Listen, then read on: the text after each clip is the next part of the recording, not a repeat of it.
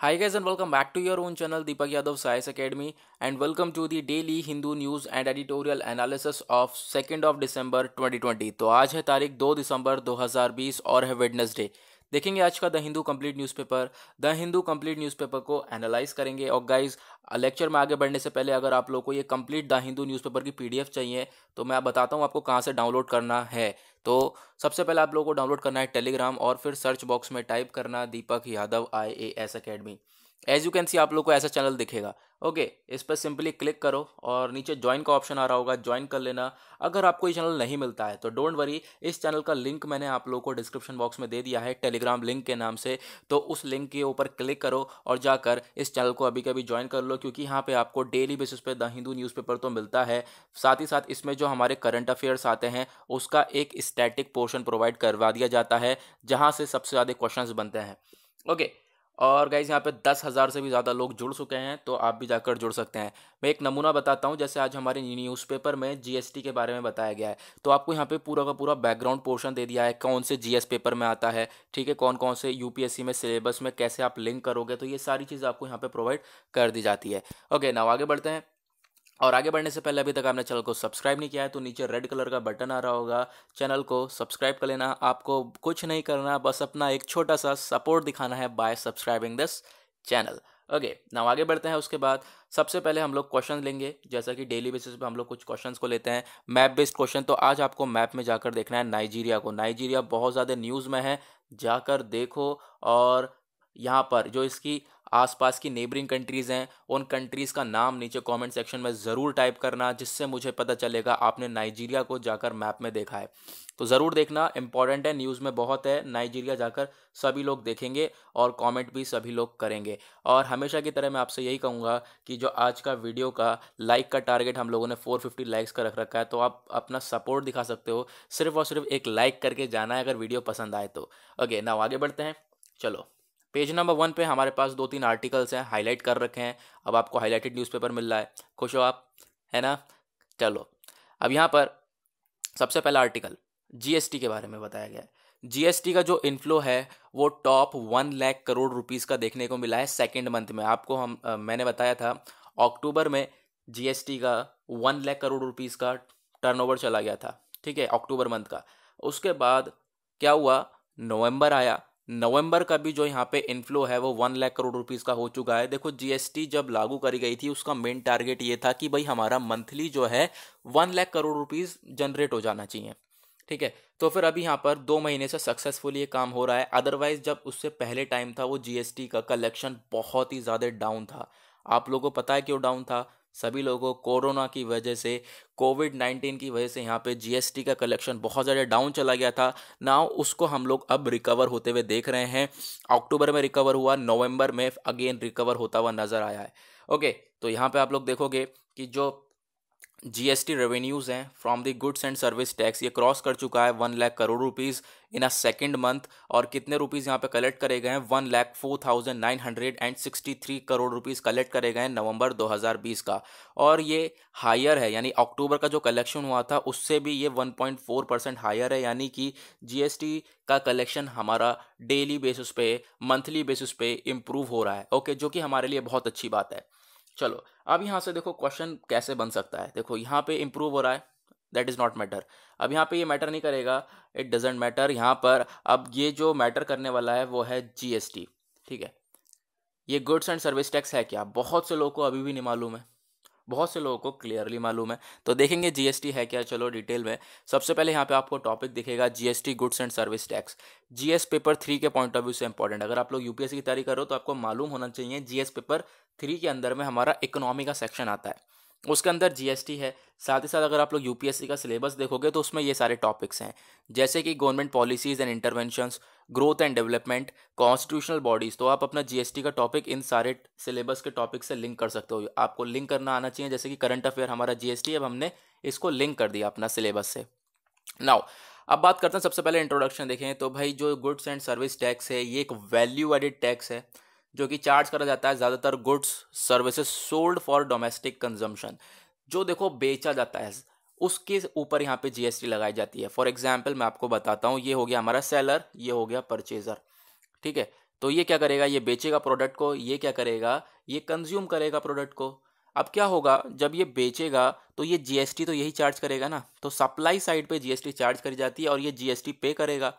ठीक है? तो बेसिकली यहाँ पे ये कहना है कि जो जीएसटी है, वो सेलिंग साइड से यहाँ पे लगाई जाएगी जब यहाँ पर कोई गुड्स या प्रोडक्ट्स बेचा जाएगा for the domestic consumption simple ना आगे आते हैं, हम लोग देखते हैं क्या क्या फीचर्स हैं जीएसटी के। सबसे पहली चीज़ बिल्कुल वही जो अभी हमने डिस्कस करा सप्लाई साइड पे ये एप्लीकेबल होगी। भाई, जो सप्लाई करेगा वो जीएसटी लगाएगा। मैं आपसे, मैं आपको कोई सामान बेचूँगा। ठीक है? सपोज़ मैं आपको कोई सामान बेच रहा हूँ तो उस पर जी मैं ही तो लगाऊँगा। आप लोग तो पे करोगे, है ना? क्योंकि मुझे ऊपर टैक्स देना पड़ेगा। तो यहाँ पर सप्लाई साइड पे जो है ये जीएसटी लगाई जाती है एप्लीकेबल होती है सप्लाई ऑफ़ गुड्स और सर्विसेज़ और against the old concept of the manufacturing of goods और एंड सेल ऑफ़ गुड्स पहले क्या होता था? पहले हमारे पास वैट लगता था, आपको पता होगा। वैट लगता था, उसके बाद हम लोगों ने बदल के जीएसटी लगाया। अब यहाँ पर जीएसटी के अंदर काफ़ी सारे बदलाव आ गए हैं, आप लोगों को मालूम होगा। सबसे अब यहाँ पर हमने डिस्कस कर लिया सप्लाई साइड पे लगती है। दूसरी चीज़ यहाँ पे देखने को मिलेगा डेस्टिनेशन बेस्ड टैक्स मतलब भाई ये कंजम्पशन टैक्स है। यानी कि आपको ये कंज्यूम आप कंज्यूम करोगे तो उसके लिए टैक्स पे करोगे। ओके दूसरा चीज़ यहाँ पर, ये हमारा थर्ड फीचर है डुअल जीएसटी यहाँ पे आप लोगों को दो तरीके की जीएसटी देखने को मिलेंगी। वैसे तो तीन तरीके की जीएसटी देखने को मिलती है बट यहाँ पे ये डुअल जीएसटी का कॉन्सेप्ट भी आ चुका है जीएसटी के साथ। वो क्या है? C G S T S G S T ये बहुत लोगों को समझ में नहीं आता, देखो तो देखो, समझो। सी जी एस टी क्या है हमारी? Central goods and service tax S G S T क्या है? States, goods and service tax. अब यहाँ पर क्या होगा? मान लो किसी भी राज्य के अंदर, मान लो हम लोग यूपी में हैं तो मान लो यूपी में या फिर कहीं भी भी एग्ज़ाम्पल ले लेते हैं यूपी के अंदर। यूपी के अंदर अगर कोई सामान का यहाँ पे बेचा या खरीदा जाएगा तो उस पर C G S T S G S T दोनों लगेगा। इसी वजह से यहाँ पे डुअल जी एस टी का नाम दिया गया है। अब यहाँ पर आप सोचोगे कि यार, ये दोनों ही जी एस टी लगेगी तो तो प्रोडक्ट बहुत महँगा हो जाएगा। तो ऐसा नहीं है। देखो कितना कितना परसेंट है मान लो आ, कोई प्रोडक्ट ले रहे हैं हम जिस पे अठारह परसेंट जी है ठीक है? अठारह परसेंट जी लगी हुई है। यूपी में मैंने कोई प्रोडक्ट लिया उस पर अट्ठारह परसेंट जी है तो मैं पे करूँगा उससे अट्ठारह परसेंट जी कैसे? मुझे इस 18 परसेंट जी में सी जी और एस जी दोनों देना होगा। तो कैसे? सी जी हमारी हो जाएगी नाइन परसेंट और एस जी हो जाएगी नाइन परसेंट अब ये जो नौ परसेंट है ये चला जाएगा हमारे सेंट्रल को। यानी सेंट्रल गवर्नमेंट केंद्र सरकार को, और जो ये नाइन परसेंट है, ये चले जाएगा स्टेट गवर्नमेंट को, राज्य सरकार को। तो ये है फॉर्मूला इसका, आप, यह कॉन्सेप्ट इसका जीएसटी का। इसमें डुअल जीएसटी का क्या सिस्टम है? सी जीएसटी और एस जीएसटी एक ही, जब आप किसी स्टेट के अंदर कोई गुड्स परचेज करोगे तो उस पर आप दोनों ही जीएसटी पे करोगे, और दोनों आधी आधी चली जाएगी। ओके उसके बाद ये आईजीएसटी का कॉन्सेप्ट क्या है? देखो C G S T S G S T का समझ में आ गया। नाउ ये अब integrated goods and service tax क्या है? ये तब लगाया जाएगा जब आप एक राज्य से दूसरे राज्य में कोई गुड्स बेच रहे हो। ठीक है? यानी कि मैं यूपी में हूँ, मैं यूपी से क्या कर रहा हूँ? महाराष्ट्र में, ठीक है? महाराष्ट्र में कोई अपना सामान बेच रहा हूँ तो जीएसटी जो है वो कहलाती है आईजीएसटी ठीक है? तो वो क्या कहलाती है? आईजीएसटी यहाँ पे स्टेट का कोई लेना देना नहीं है, ये डायरेक्ट सेंट्रल गवर्नमेंट को जाएगा। ओके, नाउ आई होप आपको क्लियर हो गया होगा C G S T S G S T और I G S T now यहाँ पे आपको मालूम होगा, कुछ हम लोगों ने रेट्स जब जीएसटी लाई गई थी तो कुछ रेट को फिक्स कर रखा था कि जो चीपर प्रोडक्ट होगा, सबसे सस्ता होगा उस पर पाँच परसेंट जीएसटी लगेगी, उससे थोड़ा सा महँगा होगा, बारह परसेंट, उससे महँगा होगा सोलह परसेंट, उससे महँगा होगा अट्ठाईस परसेंट। यहाँ पे इस तरीके से जीएसटी लगाई जाएगी, आप लोगों को ये चीज़ें मालूम होनी चाहिए। ओके ना उसके बाद थोड़ी सी और काम की बात करते हैं जीएसटी काउंसिल के बारे में। जो आर्टिकल 279 ए है, वो क्या बोलता है? जो जीएसटी काउंसिल है, वो यहाँ पे मतलब कि एक आप काउंसिल बनाई जाती है जिसमें मेंबर्स होते हैं तो वो फॉर्म करी जाती है प्रेसिडेंट के द्वारा। ताकि जो जीएसटी है, उसको गवर्न करा जा सके, उसको देखा जा सके, उसको पूरी तरह से मॉनिटर करा जा सके। इस वजह से यहाँ पे काउंसिल बनाई गई है और इसके chairman as union finance minister of India इसका चेयरमैन कौन होता है? जीएसटी काउंसिल का, वो होता है फाइनेंस मिनिस्टर ऑफ़ इंडिया वित्त मंत्री। अब यहाँ पर आपको मालूम होगा, आज के टाइम पे फाइनेंस मिनिस्टर कौन है? निर्मला सीतारमन। ठीक है? तो फिर उसके बाद अब यहाँ पे आपको देखने को मिलेगा काउंसिल जो है is devise in such a way that centre will have one third voting power and state have two third voting power यहाँ पे ऐसा होना ही पड़ेगा, ऐसा होगा, तभी जाके यहाँ पे जीएसटी काउंसिल ये कंडक्ट होगी।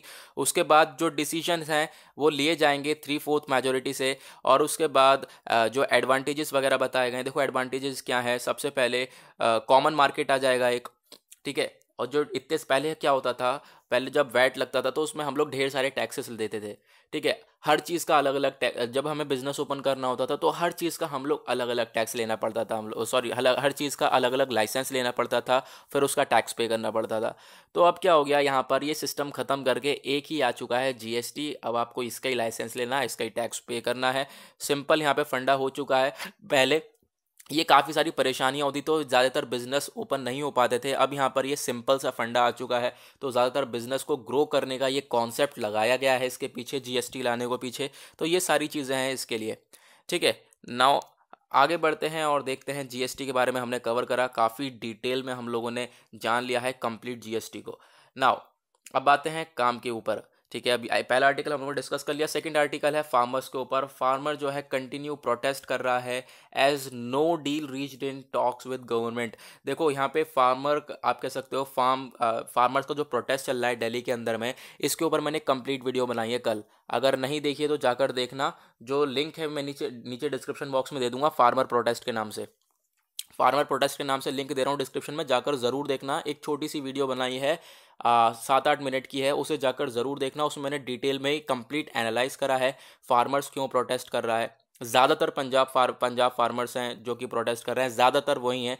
है तो बहुत सारे फार्मर्स अलग अलग जगह पर लेकिन ज़्यादातर वही हैं।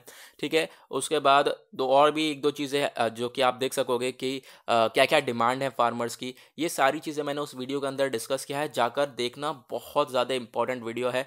तो यहाँ पर फ़िलहाल बात यह है कि फार्मर्स को बात करने के लिए बुलाया था सेंटर ने। ठीक है? फार्मर के लीडर के फार्मर फार्म लीडर जो हैं फार्मर के तो उन लीडर्स को बुलाया। बातचीत करने के लिए कि भाई इन चीज़ों को रिजॉल्व करा जाए। तो लेकिन यहाँ पर ये लोग माने नहीं। बेसिकली यहाँ पे सेंटर ने क्या बोला था? केंद्र सरकार ने बोला फार्मर से कि जो ये फार्म बिल्स हैं, इनके अगेंस्ट यहाँ पर किस तरीके से इनको सेटअप करने की बात करी गई थी। लेकिन जो फार्मर हैं इसको मानने को आप कह सकते हो तैयारी नहीं है बिल्कुल भी और अपने प्रोटेस्ट पे लगे पड़े हैं। ठीक है तो अब यहाँ पर बातचीत थोड़ी बहुत हुई, उस बातचीत का कोई फल नहीं निकला है। ओके, नाउ आगे बढ़ते हैं उसके बाद। नेक्स्ट आर्टिकल आप लोग को ये दिखाई देगा छोटा सा no move for universal vaccination यहाँ पे जो गवर्नमेंट ऑफ़ इंडिया है, उसने अभी तक कि वैक्सीनेशन के बारे में बात ही नहीं करी, किस तरीके से सभी लोगों को वैक्सीनेशन मिलेगी, ठीक है? क्योंकि यहाँ पे सबसे बड़ी बात यह है कि अगर वैक्सीन आ जाती है तो सब एक एक बंदे को सबको वैक्सीन मिलनी चाहिए। तो उसी के रिगार्डिंग यहाँ पे बोला गया, और ये किसने बोला? जो ICMR Indian council of medical research के आज के टाइम पर डायरेक्टर जनरल हैं बलराम भार्गवा। ठीक है? उन्होंने यहाँ पर बोला है। और तो यहाँ पे अभी देखेंगे हम लोग क्या क्या देखने को मिलता है। अभी छोटा सा आर्टिकल था, आप लोग यहाँ पर पढ़ सकते हैं। पेज नंबर टू के ऊपर बिल्कुल खाली है, आप कुछ नहीं पढ़ना यहाँ से, हमारे लिए इम्पोर्टेंट नहीं है। पेज नंबर थ्री के ऊपर यहाँ पर आ जाता है अपने लिए यही है, जो आप देख सकते हो। दिल्ली में जो है केसेस काफ़ी ज़्यादा तेज़ी से निकल रहे हैं। चार हज़ार छः fresh cases eighty six more deaths यानी कि चौबीस चौबीस घंटे में चार चार पाँच पाँच हज़ार केस निकल रहे हैं। तो आप जान सकते हो क्या हालत हो चुकी है। मैं जैसा कि बताता हूँ, डेली वीडियो में दिल्ली की सबसे बुरी हालत है इस समय पर। दिल्ली में क्या हो रहा है? केसेस तो निकल रहे हैं बहुत तेज़ी से, ठीक है? कोविड नाइन्टीन के। पॉल्यूशन बहुत तेज़ी से बढ़ रहा है। प्रोटेस्ट देखने को मिल रहा है और भी ज़्यादा यहाँ पे बवाल देखने को मिल रहा है दिल्ली के अंदर, आप लोग देख सकते हो। तो ये सारी प्रॉब्लम जो सबसे ज़्यादा फेस कर रहा है इस समय दिल्ली काफ़ी ज़्यादा। ओके उसके बाद यहाँ पे नेक्स्ट आर्टिकल छोटा सा ये भी बताया गया कि trial of three homeopathic medicine for Covid nineteen to be completed by Feb यहाँ पे हमारी सरकार ने ये बोला कि जो तीन होम्योपैथेटिक तीन होम्योपैथिक मेडिसिन के ऊपर काम चल रहा है और वो मेडिसिन जो है डेवलप करी जा रही हैं कोविड नाइन्टीन के लिए। कोरोना के लिए तीन होम्योपैथिक मेडिसिन बनाई जा रही है याद रखना। ये फेबररी तक डेवलप होगी और फेबररी के बाद यहाँ पर हम लोगों को इसके बारे में डिस्क्लोज करा जाएगा और उसके बारे में हमें कुछ चीज़ें मालूम चल सकती हैं।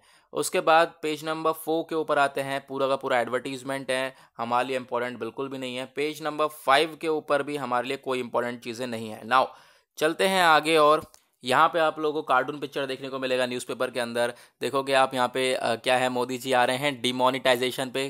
कोई खाली था मतलब कोई प्रोटेस्ट वगैरह नहीं हुआ। जीएसटी लगा, कोई प्रोटेस्ट नहीं हुआ। सी ए ए आराम से क्लियर कर दिया मतलब कि ये सारी चीज़ें क्लियर करते हुए आ गए। जितना भी कुछ हुआ है, सब कुछ क्लियर करते हुए आ रहे हैं। कोविड नाइन्टीन की वजह से यहाँ पे ये भी सारी चीज़ें क्लियर कर ली। ना वो फार्म बिल्स का रास्ता है। ये सारी चीज़ें जो है यहाँ से निकल कर आके अब फार्म बिल्स की बारी है। इन लोगों को भी साफ़ करके ये फार्म बिल्स भी ऐसे ही ऐसा ही रहने वाला है। बेसिकली इस कार्टून पिक्चर का यही कहना है। ओके नाव आगे बढ़ते हैं। नाउ पेज नंबर नाइन के ऊपर आप लोग को यहाँ पे आर्टिकल दिखेगा। जम्मू कश्मीर में इलेक्शंस हो रहे हैं, आपको लोगों को पता ही होगा। तो 48.6 टर्न आउट यहाँ पे जम्मू कश्मीर में इतनी ज़्यादा कोल्ड पड़ने के बावजूद भी यहाँ पे काफ़ी सारा वोट्स जा रहा है, ये देखने को मिल रहा है। कि आप लोगों को देखने को मिलेगा, बंडीपोरा में सबसे ज़्यादा रिकॉर्ड हुआ है हाईएस्ट वोटिंग ऑफ़ 69.66 परसेंट और अगर वैली की अगर हम बात करें तो वैली में इस बंदीपोरा वैली में यहाँ पे हाईएस्ट रिकॉर्ड देखने को मिला है। साथ ही साथ पूंछ में देखने को मिला है 75.07 परसेंट यहाँ पर ये जगहों के नाम बता रखे हैं, कितनी कितनी परसेंट वोटिंग हो रही है तो वोटिंग अच्छी खासी देखने को मिल रही है। ओके ना उसके बाद आगे बढ़ते हैं और देखेंगे हमारे लिए क्या इंपॉर्टेंट है। पेज नंबर टेन के ऊपर एक और आर्टिकल आता है, ये वाला। Serum institute of India retreat कर रहा है वैक्सीन सेफ्टी के बारे में। यानी कि जो ये सीरम इंस्टीट्यूट ऑफ़ इंडिया, ये बार बार ये कह रहा है कि भाई वैक्सीन सेफ़ है ये। क्योंकि अभी आपको लोगों को मालूम होगा, सीरम इंस्टीट्यूट ऑफ़ इंडिया के ऊपर एलिगेशन लगा दिए गए। एक चालीस साल के बुज़ुर्ग के द्वारा यहाँ पे एलिगेशन लगाए गए। बोला गया इसके, उस उस चालीस साल के बुज़ुर्ग के द्वारा बोला गया कि जो इसकी वैक्सीन थी जो सीरम इंस्टीट्यूट ऑफ़ इंडिया की वैक्सीन थी, उससे मेरे बॉडी के ऊपर बुरा असर हुआ है, बुरा असर हुआ है नेगेटिव इफ़ेक्ट पड़ा है। तो ये सारी चीज़ें यहाँ पर उनके द्वारा एलिगेशन लगाए गए थे। नाउ यहाँ पे उसके बाद जो सीरम इंस्टीट्यूट ऑफ़ इंडिया है, मैं आपको बता दूँ, ये पुणे के अंदर है और जो है दुनिया में सबसे ज़्यादा वैक्सीन बनाने वाला एक इंस्टीट्यूट है, वो है serum institute of India. Okay तो ये बार बार कह रहा है कि भाई ऐसा कुछ भी नहीं है, वैक्सीन बिल्कुल सेफ़ है। हम लोगों ने और लोगों के ऊपर और लोगों के ऊपर भी ट्राई करा है, वैक्सीन बिल्कुल सेफ़ है। और जो है, जो ये चार्जेस लगाए गए हैं इस इंस्टीट्यूट के अगेंस्ट, उसके लिए यहाँ पे ये इंस्टीट्यूट लड़ेगा आगे तक। ओके ना आगे बढ़ते हैं, उसके बाद पेज नंबर, सेम पेज पे यहाँ पे एक और आर्टिकल आता है, ये वाला। काफ़ी सारे वॉलेशन देखने को मिल रहे हैं चारधाम प्रोजेक्ट को लेकर। अब यहाँ पर क्वेश्चन उठता है, ये चारधाम प्रोजेक्ट क्या है भाई? देखेंगे, उससे पहले हम लोग जान लेते हैं, ये क्या क्या वॉयलेशन हो रहा है। सुप्रीम कोर्ट ने बोला कि भाई यहाँ पर काफ़ी सारे वॉयलेशंस हो रहे हैं, गड़बड़ी देख रहे हैं चार धाम प्रोजेक्ट में। अब ये जो बारह हज़ार करोड़ रुपए का प्रोजेक्ट है, इसका एम है कि एक चौड़ी सी रोड बनाए ये, चौड़ी रोड बनाए एक 825 किलोमीटर की। 825 किलोमीटर की चौड़ी सी रोड बनाने का ये पूरा का पूरा प्रोजेक्ट है, जो कि हमारे चार धामों को कनेक्ट करेगा। ओके और उसके बाद यहाँ पे बेसिकली जो देखने को मिल रहा है, ये है कि कंट्रोवर्सी क्यों आ रही है?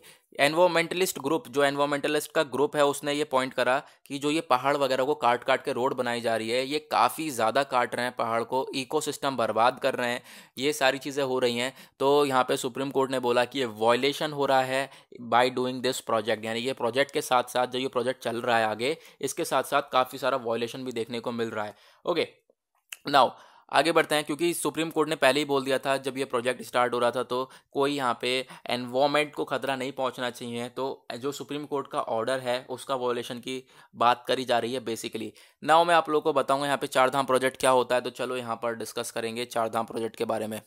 ये जो चार धाम प्रोजेक्ट है, ये कौन लेकर आ रहा है, ये कौन कंडक्ट कर रहा है, ministry of road transport and highways जो है, ये बना रहे हैं, और इसमें क्या काम हो रहा है? जो कनेक्टिविटी है वो बनाई जा रही है, जो हमारे चार धाम है मेनली आप लोगों को मालूम होगा, केदारनाथ, बद्रीनाथ, यमुनोत्री और गंगोत्री। इन चारों धामों को कनेक्ट करा जाएगा उत्तराखंड के अंदर में और इस पर एक सटीक रोड बनाई जाएगी, बढ़िया सी और वो बारह हज़ार करोड़ रुपए का यह प्रोजेक्ट है। एट एट नाइन किलोमीटर्स की लंबी रोड बनाई जा रही है। तो उसी रोड को लेकर, इसी चीज़ को लेकर यहाँ पर ये आर्टिकल न्यूज़ के अंदर है। ओके ना उसके बाद बराबर में एक आर्टिकल दिखाई देगा आप लोगों को। ये जो, ये देखो पाकिस्तान के अंदर अभी हम लोगों ने यहाँ पे जम्मू और कश्मीर वाले एरिया में हम लोगों ने टनल के प्रूफ्स देखे। जो tunnel proof of Pakistan hostility says रहा है यहाँ पर बोला जा रहा है कि जो बीएसएफ है, उसको काफ़ी सारे सॉल्यूशंस निकालने पड़ेंगे। साथ ही साथ जो ड्रोन्स वगैरह देखने को मिल रहे हैं, ठीक है? जो ड्रोन्स को कैसे काउंटर करा जाएगा ये बीएसएफ को सोचना पड़ेगा, जो हमारी बीएसएफ पुलिस है, ठीक है? यानी कि जो इंडिया पाकिस्तान के बॉर्डर के ऊपर ये सारी चीज़ें देखने को मिल रही हैं, जैसे कि ड्रोन्स का इस्तेमाल हो रहा है, या फिर जो अभी हम लोगों ने एक टनल देखी थी, एक टनल का एक टनल हम लोगों को मिली है, मैंने आप लोगों को न्यूज़ के अंदर कवर किया था। तो वो सारी चीज़ें जो गलत तरीके लिए इस्तेमाल करी जा रही हैं, उन सबको कैसे सॉल्यूशंस उन सब का टैकल आउट करना पड़ेगा बीएसएफ को, ठीक है? तो जो हमारी बीएसएफ बॉर्डर सिक्योरिटी फोर्स उसको तो उसी के बारे में यहाँ पर बताया गया। और ये सब चीज़ें क्यों बताई गई? क्योंकि यहाँ पे बीएसएफ डे भी मनाया जा रहा है। ओके ना उसके बाद आगे बढ़ते हैं। आगे देखते हैं पेज नंबर थर्टीन के ऊपर आते हैं देखेंगे तो दुनियादारी में क्या चल रहा है। सबसे पहले आप लोगों को यहाँ पर ये वाला आर्टिकल नज़र आएगा। चाइना और पाकिस्तान ने मिलकर मिलिट्री डील को साइन कर लिया है। तो दोनों ही खतरनाक देश हैं दोनों ही हरामी हैं है ना? चाइना और पाकिस्तान जो है उन्होंने मिलकर new military memorandum of understanding को साइन किया ताकि जो ये मिलिट्री के आप कह सकते हो कि इनका जो ओ, क्या हो सकता है जो बायोलेटरल कॉपरेशन है वो ज़्यादा बढ़ता हुआ नज़र आएगा। ओके क्या होगा? China defence minister and people liberation army. General Wei Fenghe met Pakistan, ठीक है, जो यहाँ पे पीपल लिबरेशन आर्मी के जो जनरल हैं, वो किससे मिले? पाकिस्तान के लीडरशिप से इस्लामाबाद में। और यहाँ पर ये सारी बातें हुई और जो है, एक डील साइन हो चुकी है जिसमें चाइना और पाकिस्तान मिलकर अपने मिलिट्री बेसिस को साथ में ग्रो करेंगे। और क्या कहना है? इसका बेसिक पर्पस क्या है? जो ये डील हुई है इन दोनों के बीच में वो डील का क्या कहना है? ये जो मिलिट्री टू मिलिट्री रिलेशनशिप हैं, इनको ये ज्वाइन इसलिए कर रहे हैं ताकि काफ़ी सारे जो रिस्क हैं इन लोगों को चैलेंजेस हैं, उसको टैकल आउट कर सकें। अपने सिक्योरिटी इंटरेस्ट के लिए यहाँ पर ये साइन करी जा रही है रीजनल पीस के लिए यहाँ पे साइन करी जा रही है, अपने प्रोटेक्शन के लिए ये आपस में दोनों मिलिट्री डील को साइन कर रहे हैं। वाह, चलो। आगे बढ़ते हैं उसके बाद। और हमारे कुछ इंपॉर्टेंट उस पर है नहीं। पेज नंबर फोर्टीन के ऊपर बिज़नेस पेज पे आप लोगों को देखने को मिलेगा। इकोनॉमी रिलेटेड आर्टिकल है यहाँ पर ये वाला। तो ये हमारा परचेजिंग मैनेजर इंडेक्स के द्वारा यहाँ पे देखा जा रहा है कि जो इंडिया की मैन्युफैक्चरिंग है, वो यहाँ पे नवंबर के अंदर डाउन होती हुई नज़र आई है। नवंबर की जो मैन्युफैक्चरिंग है, ये पीएमआई बताता है कि जो तीन महीने से यहाँ पे लो लो चल रही है और यहाँ पे काफ़ी सारा लॉस भी देखने को मिल रहा है। तो बेसिकली कुछ नहीं बताया गया इस आर्टिकल के अंदर, सिर्फ़ क्या है मैनुफैक्चरिंग सेक्टर जो है वो हमारा डाउन चल रहा है और कुछ नहीं है। ओके नाव चलते हैं अपने एडिटोरियल्स के ऊपर और डिस्कस करेंगे एडिटोरियल्स को। इंपॉर्टेंट ऑडिटोरियल्स हैं दो तीन एडिटोरियल हैं जो कि बहुत ही इंपॉर्टेंट है, बहुत हाँ बहुत ज़्यादा। तो सबसे पहले हम लोग डिस्कस करेंगे पेज नंबर सिक्स के ऊपर, ये वाला एडिटोरियल अभी आप लोगों को पता है एससीओ की मीटिंग हुई है शांघाई कॉपरेशन ऑर्गेनाइजेशन क्या होता है ये आप लोगों को मालूम होगा, कल ही हम लोगों ने क्वेश्चन पूछा था इसके ऊपर और सभी लोगों ने आंसर करा था। नहीं नहीं पता तो कल के वीडियो ओपन करो और वहाँ पे कमेंट सेक्शन में पढ़ लेना, सभी ने आंसर किया है, बहुत अच्छे अच्छे आंसर कर रहे हैं सब लोगों ने। ओके नाउ जो शांघाई कॉपरेशन ऑर्गेनाइजेशन है, ये आपको पता होगा अभी इसकी मीटिंग हुई तो इंडिया ने होस्ट किया है इसे। इंडिया ने होस्ट किया था इंडिया के प्राइम मिनिस्टर नहीं गए थे। प्राइम मिनिस्टर के जो यहाँ पे ना जाने की वजह से उसके बाद हमारी तरफ़ से कौन गया था? आप लोगों को मालूम होना चाहिए प्राइम मिनिस्टर हमारे नहीं जा पाए थे तो कौन गया था? तो गए थे हमारे vice president Venkaiah Naidu okay और जो है पाकिस्तान की साइड से भी पाकिस्तान के प्राइम मिनिस्टर इमरान खान नहीं आया था। क्यों? क्योंकि उसे मालूम चला इंडिया होस्ट कर रहा है तो उसकी वजह से वो भी नहीं आया। नाउ अगर हम बात करें इस शंघाई कोऑपरेशन ऑर्गेनाइजेशन में इंडिया ने किस चीज़ के ऊपर बात रखी? इंडिया ने बात रख दिया टेररिज्म के ऊपर। जो वाइस प्रेसिडेंट थे वेंकैया नायडू, उन्होंने गए मीटिंग के अंदर और बोल दिया कि भाई टेररिज्म के ऊपर क्रॉस बॉर्डर जो टेररिज्म है, उसका काफ़ी ज़्यादा खतरा है इंडिया के ऊपर। ये बोल दिया, यानी पाकिस्तान की तरफ़ उंगली दिखाते हुए। तो आप समझ सकते हो यहाँ पे ये सारी चीज़ें बोली गई हैं और आपको पता है पाकिस्तान तो एक ही इशू उठा रहा है, किस चीज़ को लेकर? जम्मू कश्मीर वाला इशू, आप लोगों को मालूम होगा। और अभी ओआईसी में भी यही सिचुएशन हुई थी ऑर्गेनाइजेशन ऑफ़ इस्लामिक कोऑपरेशन में, जो जम्मू और कश्मीर का इशू सबसे ज़्यादा वहाँ पर उठाया गया और जो उसकी नेक्स्ट मीटिंग है वो पाकिस्तान में होने वाली है। ये सारी चीज़ें मैं ऑलरेडी कवर कर चुका हूँ सुबह वाली वीडियो में। सुबह जो डेली करंट अफेयर की वीडियो अपलोड हुई है पाँच बजे वाली, उसमें जाकर देखना वहाँ पर मैंने ये सारी चीज़ें कवर करी हैं। ओके तो सुबह पाँच बजे वाली वीडियो ज़रूर देखा करो, बहुत इंपॉर्टेंट वीडियो होती है वो। ना उसके बाद नेक्स्ट आर्टिकल यहाँ पे ये वाला नज़र आएगा। इस एडिटोरियल में बात करी जा रही है स्लो प्रोग्रेस के बारे में। भाई देखो डब्ल्यू टीम है यहाँ पर डब्ल्यू को पता नहीं चला यहाँ पे कोविड नाइन्टीन को लेकर। अभी अगर हम बात करें तो चाइना ये आर्टिकल इतना इंपॉर्टेंट नहीं है बट फिर भी मैं आपको बताता हूँ ये है क्या। देखो चाइना जो है, हमेशा से अनकवर करता है, छुपाता है, ठीक है? दो चाइना से हमेशा कवर करके रखता है अपनी जो भी सिचुएशन है तो उसको अनकवर करने के लिए यहाँ पे डब्ल्यू को काम करना पड़ेगा। ओके ऐसे यहाँ पे पहले भी वायरस आ चुके हैं, जैसा कि पहला यहाँ पे अभी आप लोगों को ये कोविड नाइन्टीन देखना पड़े, देखने को मिल रहा है। इससे पहले भी इस तरीके के खतरनाक वायरस पहले भी आ चुके हैं चाइना से ही। तो फिर ऐसी चीज़ों को टैकल आउट करने के लिए डब्ल्यू एच ओ को वर्ल्ड हेल्थ ऑर्गेनाइजेशन को स्टेप उठाना पड़ेगा कि भाई इस चीज़ों को अनकवर करा जाए, क्योंकि चाइना जो है कुछ बताता बताता है नहीं और कवर करके चलता रहता है।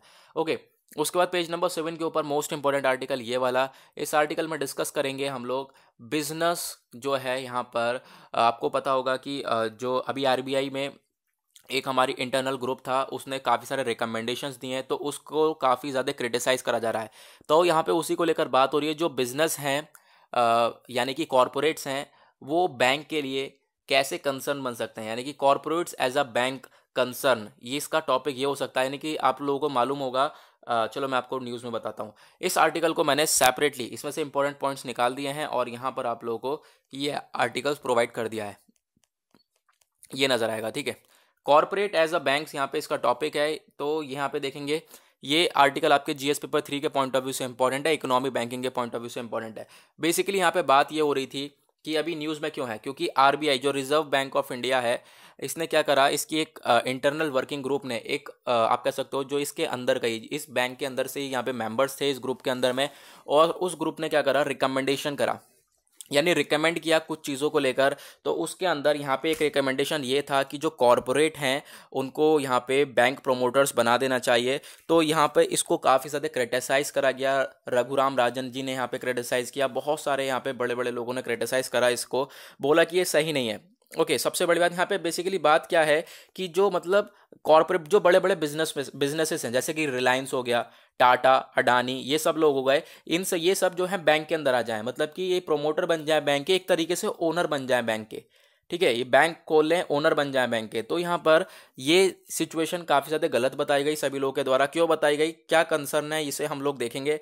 सबसे बड़ी बात यहाँ पे पहला देखो कंसर्न क्या बताया गया? पहला बताया कंसंट्रेशन ऑफ़ इकोनॉमिक पावर भाई रिलायंस टाटा अडानी ऐसे लोगों के पास इतना पैसा पहले से ही है और ये लोग बैंक में अगर आ जाएँगे तो ये अपने फ़ायदे के ऊपर सबसे पहले देखेंगे। अगर इन्हें ज़रूरत होगी तो ज़्यादा से ज़्यादा ये लोग पैसा खुद के लिए निकालेंगे। ओके? तो यहाँ पर इस तरीके से यूज़ करा जा सकता है इसको। दूसरी चीज़ आप लोगों को नज़र आएगी रिस्क के बारे में कि यहाँ पे आरबीआई ऑलवेज यहाँ पे आ, क्या देखता है आ, पहली बात इक्विटी देखी जाती है सब जगह पर, लेकिन यहाँ पर जो काम के अंदर एफिशिएंसी देखी जाती है, लेकिन जैसे ही यहाँ पे सारे जो बिजनेसेस हैं, ये बड़े बड़ी कंपनीज़ अगर आ जाती हैं तो फिर यहाँ पर ये काम बिगड़ जाएगा और ये क्या होगा? देखो बैड लोन्स की सिचुएशन काफ़ी ज़्यादा देखने को मिलेगी, क्योंकि जो ऐसी यहाँ पर बड़ी बड़ी अगर कंपनीज़ जिनके पास इतना पैसा है, वो अगर बैंक्स के अंदर आ जाती हैं तो क्या होगा, वो ज़्यादा से ज़्यादा अपना सेल्फ इंटरेस्ट के लिए सेल्फ इंटरेस्ट को देखेंगे, अपने बिज़नेस को ग्रो करने के लिए काफ़ी सारी चीज़ें देखी जाएँगी। बिल्कुल सेम बात यहाँ पे नेक्स्ट जो है कंसर्न है वो कनेक्ट लैंडिंग यानी कि मतलब कि खुद के लिए कॉन्फ्लिक्ट ऑफ़ इंटरेस्ट तो यानी कि खुद के लिए वो देखेंगे कि यहाँ पर अपने लिए क्या क्या है उनके लिए ज़रूरत है और ज़्यादातर वो अपने लिए यहाँ पर काम करेंगे। अगर हम सिंपल टर्म्स में देखें तो जो ये प्रोमोटर बैंक ये क्या करने, अगर यहाँ पर ये प्रोमोटर बन जाएँगे बैंक के प्रोमोटर अगर बन जाएँगे मतलब शेयर्स ले लेंगे अच्छे खासे बैंक के, यानी प्रोमोटर जो होगा, एक तरीके से आप लोग कह सकते हो बैंक का ओनर अगर ये प्रोमोटर बन जाते हैं बैंक के तो क्या होगा? एक तरीके से ये बोरो कर सकते हैं। ठीक है बोरोवर भी हैं तो ऊपर से यहाँ पे पैसा बोरो भी कर लेंगे। तो यहाँ पे ये सिचुएशन है कि इनके पास पहले से इतना पैसा है तो और ज़्यादा बुरी सिचुएशन हो सकती है अगर ये लोग बैंक के अंदर आ जाते हैं तो। ये इसका पूरा कंसर्न है। नाउ यहाँ पे आप लोगों को लाइव एग्ज़ाम्पल देखने को मिलेगा येस बैंक येस बैंक अभी रिसेंटली में आप लोगों को देखने को मिलेगा D H F L bank इन सबकी यही सिचुएशन हुई थी। ये बुरी तरह से बैड लोन्स में फंस चुके थे क्योंकि यहाँ पर क्या होता था लोन्स ले लिए जाते हैं और फिर उसके बाद चुकाए नहीं जाते हैं तो ऐसी सिचुएशन देखने को मिल जाती है। ओके नाउ गाइज़ यहाँ पे बराबर में इसका, इसके बराबर में एक आर्टिकल है, ये है किस चीज़ के बारे में? No leverage for Biden on Iran यहाँ पर बात करी जा रही है कि भाई देखो अभी आपको ईरान में देखने को मिला आ, क्या देखने को मिला? ईरान के टॉप न्यूक्लियर साइंटिस्ट को मार दिया गया। ईरान ने इल्ज़ाम लगा दिया इसराइल के ऊपर। अब यहाँ पर यह बोला जा रहा है कि बाइडन का क्या रोल है भाई? देखो अभी पता होगा डोनाल्ड ट्रंप के जब एडमिनिस्ट्रेशन चल रहा था अभी चल रहा है एक महीने और चलेगा। जब डोनाल्ड ट्रंप थे वैसे अगर मैं कहूँगा तो फिर क्या था? ईरान के ऊपर काफ़ी सारे सैंक्शंस लगाए गए थे और ईरान को क्या कर दिया गया था? यहाँ पे न्यूक्लियर डील से भी बाहर निकाल दिया गया था। ये सारी चीज़ें हुई थी। ना अब जो बाइडन आ रहे हैं। जो बाइडन की कोशिश यही रहेगी कि न्यूक्लियर डील में यहाँ पर वापस न्यूक्लियर न्यूक्लियर डील करी जाए ईरान के साथ, ताकि जो ईरान है वो अपने जो है, आप कह सकते हो एटॉमिक बॉम्ब्स ना बना पाए। ठीक है न्यूक्लियर बॉम्ब ना बना पाए। तो यहाँ पे ये सारी चीज़ें डील्स वगैरह हैं। तो यहाँ पे कंसर्न ये है कि ईरान के टॉप न्यूक्लियर साइंटिस्ट को मार दिया गया। ईरान इल्ज़ाम लगा रहा है इसराइल के ऊपर और यहाँ पर सबसे बड़ी बात ये देखने को मिलेगी कि ईरान कोई रिटेलिएशन करता है, यानी ईरान मतलब कि अगर कोई स्टेप उठाता है, इस तरीके से कोई बदला वगैरह लेने का अगर स्टेप उठाता है इसराइल के अगेंस्ट तो फिर जो बाइडन क्या कर सकते हैं? जो बाइडन के दिमाग में ईरान खटक सकता है और यहाँ पर काफ़ी सारी प्रॉब्लम्स देखने को मिल सकती हैं ईरान को भी। बेसिकली वही चीज़ बोली गई है इस आर्टिकल के अंदर। आप लोग पढ़ सकते हो। ओके तो गाइस इसी के साथ हुआ आज का हमारा द हिंदू एनालिसिस पूरी तरह से समाप्त। आई होप आप लोगों को मज़ा आया होगा। और अभी तक आपने चैनल को सब्सक्राइब नहीं किया तो नीचे रेड कलर का बटन आ रहा होगा सब्सक्राइब कर लेना। बेल आइकन प्रेस कर देना ताकि आप कोई भी वीडियो की नोटिफिकेशन मिस ना कर सको। आज के लिए बस इतना ही। मिलेंगे आप लोगों से कल। आज के लिए bye bye have a nice day